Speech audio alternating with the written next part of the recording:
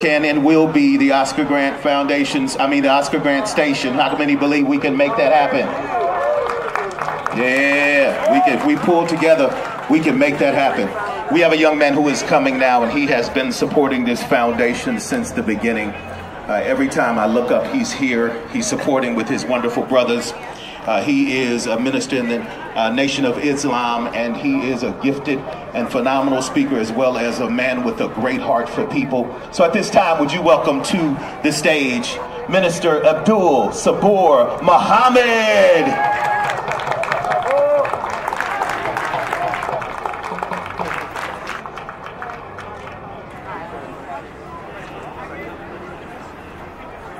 In the name of Allah, the beneficent, the merciful. I bear witness that there is but one God, and I bear witness that Muhammad is his messenger. I am a student of the teachings of the Honorable Elijah Muhammad, and you should know that we thank Allah for his intervention in our affairs, for his raising the Honorable Elijah Muhammad, and for his gifting us with a man who represents his love to us and that is the Honorable Minister Louis Farrakhan. It's in their names. I'm honored to greet all of you with the greeting words of peace. We say it in the Arabic language. Assalamu alaikum. To the family of Oscar Grant, to Mother Wanda, to Sister Tatiana, to our grandmother, to the brothers and sisters of Wanda, aunts and uncles, of Oscar to the pastor that serviced their family there in Hayward, California, and to each and all that are here gathered on this historic occasion. It is certainly my honor to represent the truth taught by God and His servants as I strive to help the Honorable Minister Louis Farrakhan to help every one of you. 10 years ago, when we learned of the murder of Oscar Grant, like many, in the opening moments, we had no idea what happened. We didn't know who Oscar and his family were. And on the morning of January the 3rd, before the video release of the horrific incident, men gathered in a special organizing effort hosted at the Olivet Institutional Missionary Baptist Church and its late great pastor that we thank God for, who hosted two years straight of town hall meetings. I want you to give a big round of applause in memory of the Reverend Gordon Humphreys.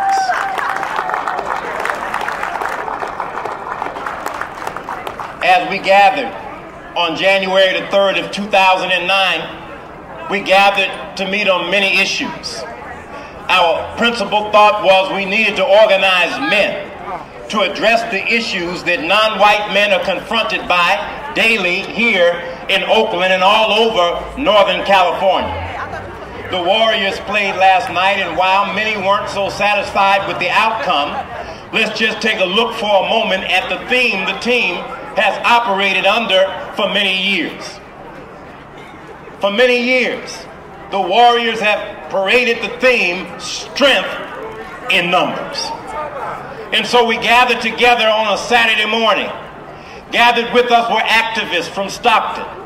Gathered with us were activists from Sacramento. Gathered with us were activists from San Francisco. Gathered with us were activists from Oakland. Gathered with us were activists from Fresno. And those activists, all male in that initial meeting, were men who were concerned with gentrification. Men that were concerned with toxic poisoning and uh, environmental racism in San Francisco. Men who were concerned with the prison industrial complex and the mass incarceration authored not by Republicans, but actually authored by Democrats, one of whom is running for president right now, Mr. Biden. And so as we gather to confront and organize ourselves around these issues, as I was driving home from that meeting, one of the brothers called me and asked, Brother, have you seen the news? Well, no, I have not. I was in the car. And he told me when I got home to pay attention to the news. And it was that night that a video taken by a woman on the BART train, whose name should be remembered and whose efforts should be thanked. One of the themes I want to speak to as I open here is gratitude.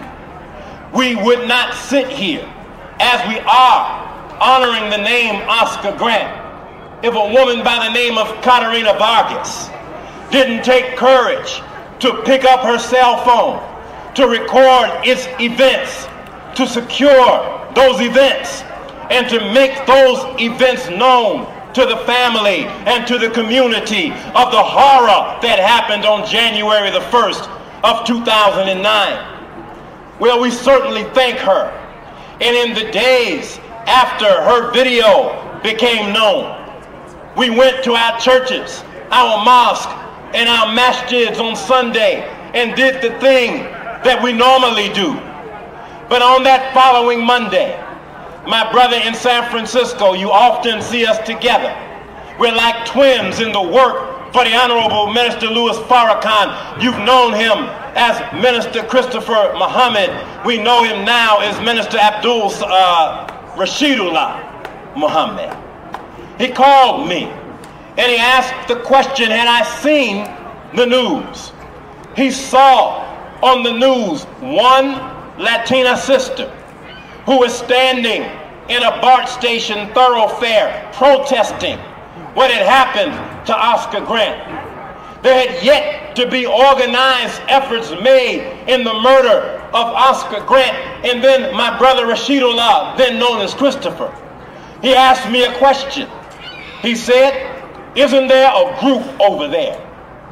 The black elected officials that you are a part of. What are black elected officials doing about the murder of Oscar Grant? And in that moment, the answer was nothing because they, like most, were satisfied looking at the news and sitting at home angry. You see, there's something that we suffer in our community that the enemy have raised us in such way that no matter what is done against us, we ought to never raise our heart and never raise our hand to fight with those who fight with us. So my brother asked me to call those whom I knew that we could meet and organize a meeting of those in leadership in activist worlds that we were able to reach. And on Tuesday, I believe January the 6th, a delegation of about 20 of us met in Olivet Church hosted by the Reverend Humphreys. We were joined then by several members of the body politic of Oakland. Some are here today, others are absent in this moment, but we certainly want to thank, and I believe her absence, unless she's floating around, our councilwoman, Desley Brooks. Give her a big round of applause because there was something she did very unique in this challenge.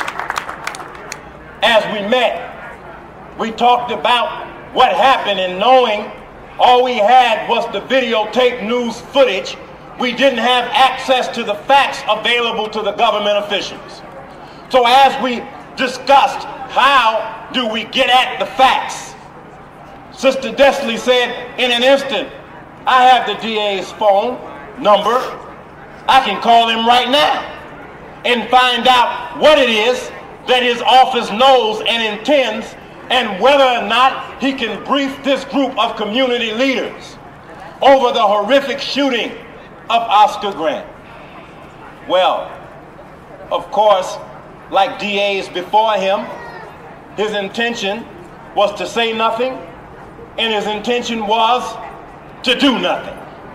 She pressed the envelope and said, This group needs to meet with you, or it's going to be problems in our community. So then the DA said, okay, well, I'll meet with two or three of you. There were more than 20 in the room.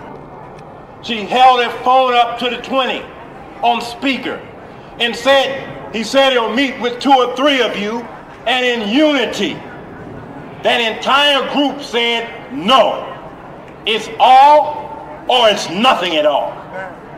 When it became nothing at all, it was determined in that moment that we were going to take the whole group plus and have a press conference at the steps of the Alameda County Courthouse to make our demands for justice in the murder of Oscar Grant known. And when we were done with that, we were going to make our way to the district attorney's office and make a demand that he allow us into those secret sanctums of what it is he intended to do in the murder of Oscar Grant. The DA was a little scared. He didn't want to meet with me. Our brother Supervisor Keith Carson came from a budget hearing across the street that he was chairing at the alarm call of the district attorney, former Tom Orloff. He said that they called me because they were worried that you are outside of his office demanding the meeting. And they wanted for Supervisor Carson to calm the native black people down. He came into the area and asked directly, What do you want? He took into the meeting with him the legendary pastor of, of Allen Temple Baptist Church, Dr. J. Alfred Smith Sr. They met for a few minutes and agreed that in order to advance our demands, you had to bring myself into that meeting. When we approached that meeting, the DA said, okay, I'll talk, but I can't talk to all of those people out there. It's not safe. We said to the DA in the police station, you call a courthouse.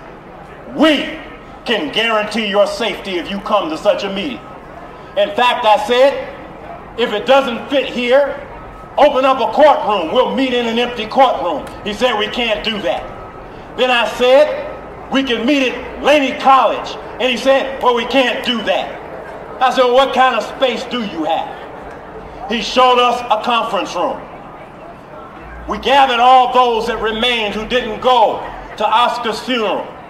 And we met in this conference room with men, women, and children who came for the sole purpose of demanding justice. Wow. Now, I brought an iPad with me because it has some notes on it and it's overheated. Are y'all all right? All right. We were overheated that day. But I wanted to make sure that we took a moment to thank as many as we can. Because Allah, the Quran teaches us, hates ingratitude.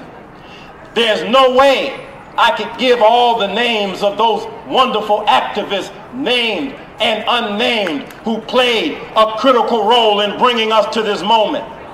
You need to know that BART would not have permitted this mural, and the city of Oakland would not have permitted that sign, except that they saw the force of a community that had learned to love itself enough to demand what's in our own best interest.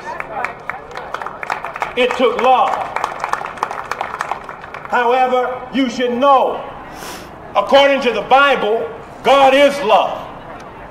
So it not only took love, it took God. There were miracles happening in Oakland during that time.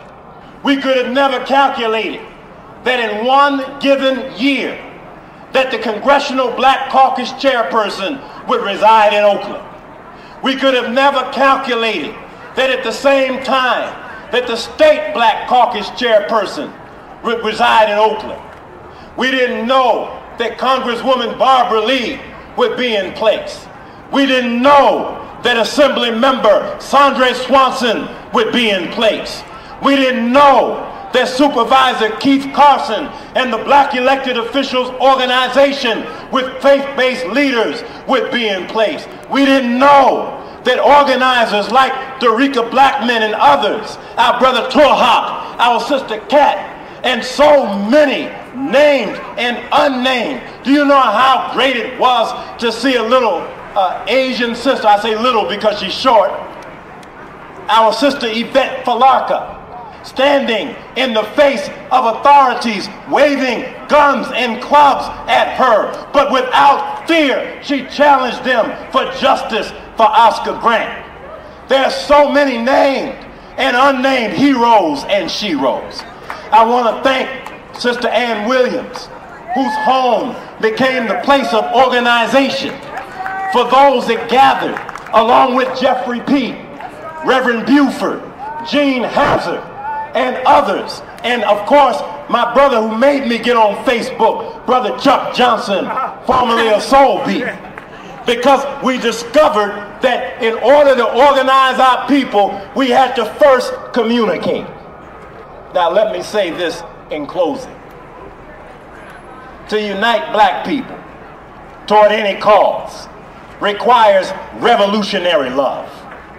The Bible not only says that God is love, the Bible says that love is long suffering.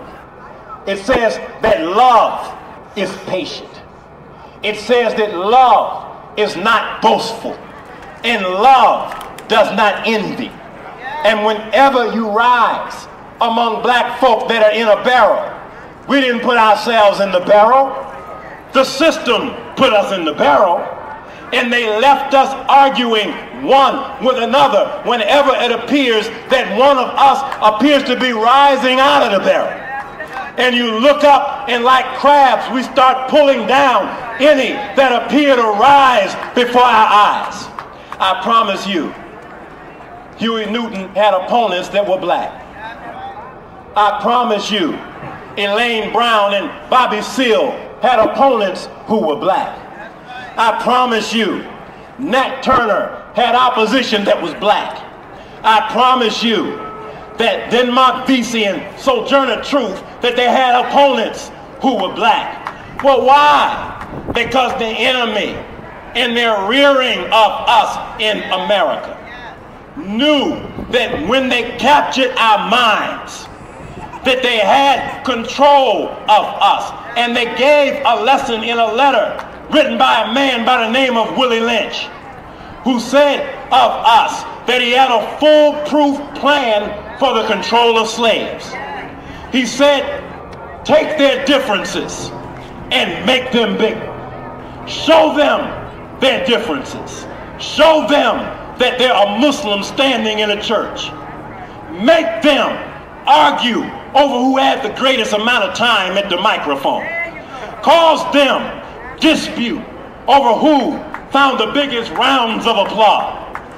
Make them argue over grant money, not over Oscar Grant, but over grant money, over which nonprofit would find their way to the good offices of city government.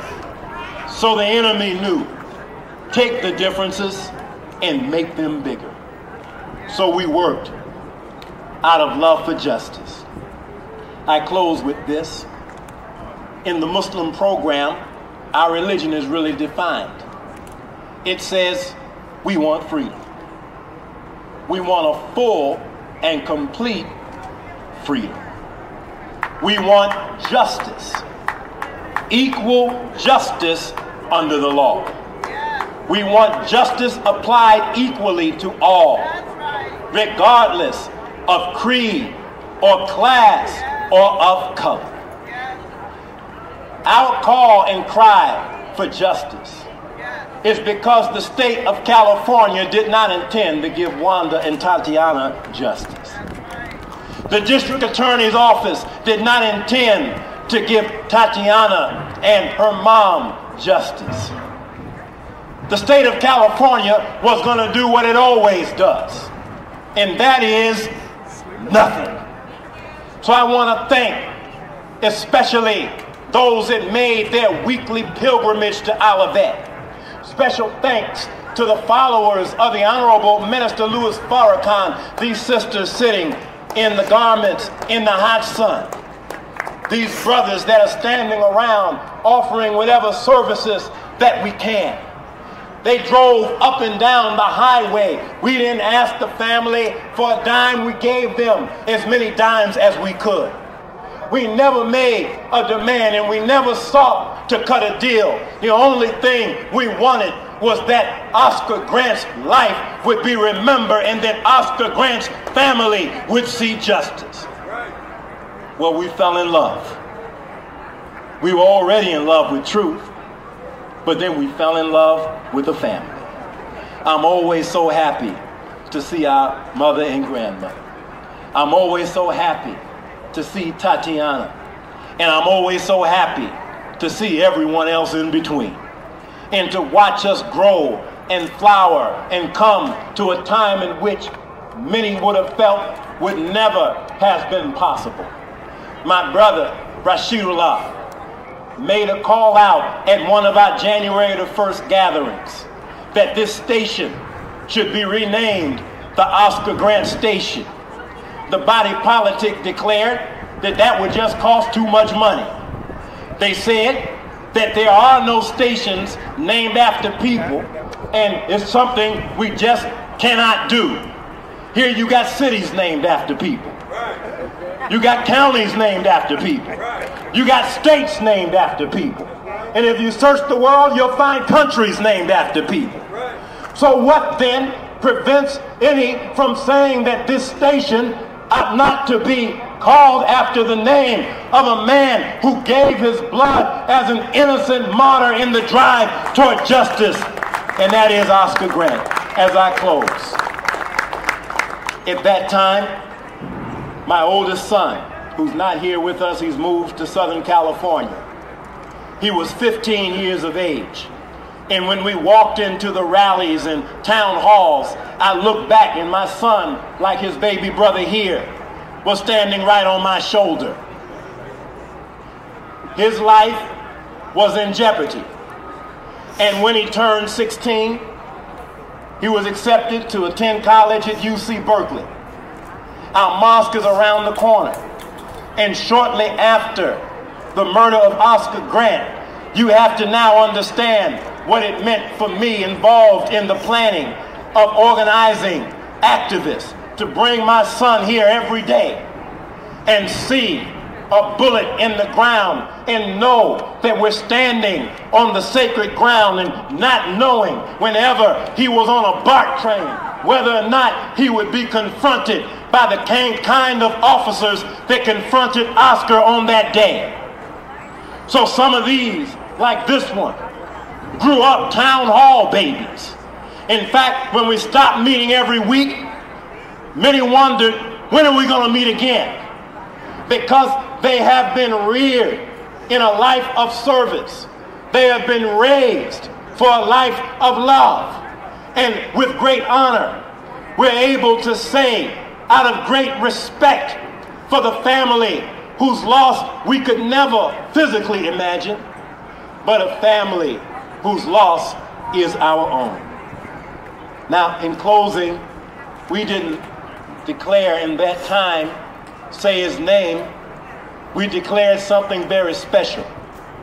As we were gathering and learning of our brother's life and what caused his death, it came out of the mouth of the activist at Olivet that could have been my son.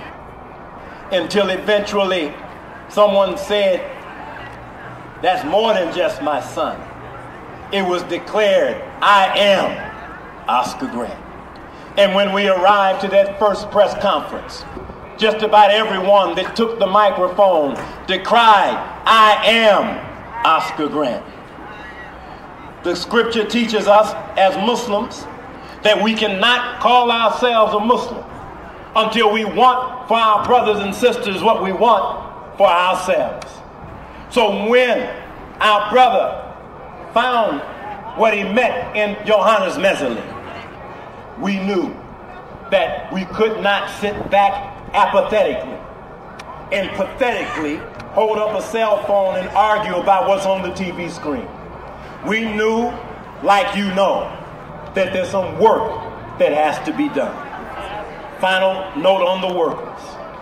One of our great workers married into the family of Oscar. So now that makes her his auntie. My sister, who's hiding behind the speaker, hoping I don't point her out in the gray hat, in the black uh, pants, but I didn't point her out. But my sister served as a counselor, as an aide, as a nurse, as a friend, and as a sister to Mother Wanda while we traveled up and down the highways, in the byways, in and out of a courtroom to secure justice in the murder of Oscar Grant. Please thank Sister Beatrice X, who is now the wife of Brother Cephas or Uncle Bobby X. So I want to thank you all for this historic moment. Let us pay tribute. Let us give honor and let us show love to the family of Oscar Grant. May Allah bless and keep you all. Assalamu alaikum.